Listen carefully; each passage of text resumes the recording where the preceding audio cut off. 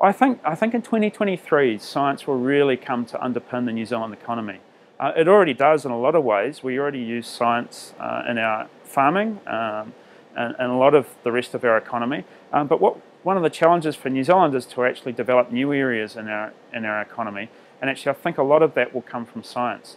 Uh, I'm interested in, in, in, using big data. So, you know, we're, we're collecting more and more data all the time, uh, either through social media or through sensors that are embedded in objects.